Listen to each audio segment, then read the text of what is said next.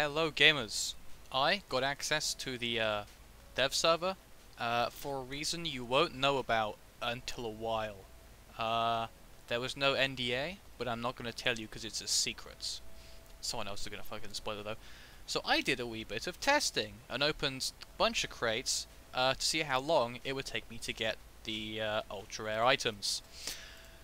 Um, so as you can see the uncommon crate, I've opened none.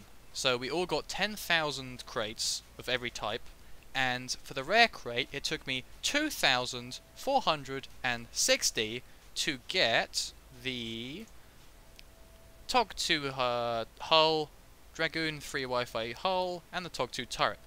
I got the TOG 2 turret first, then the Dragoon, then the then the hull, which was kind of funky.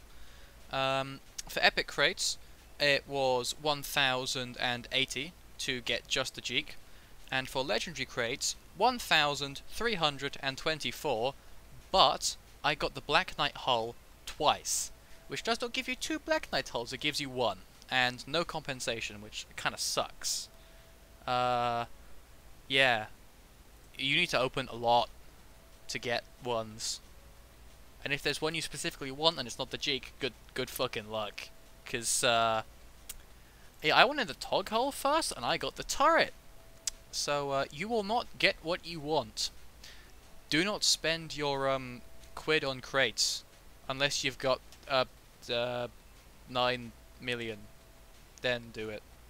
But um yeah, you don't always get what you want. To cry about it.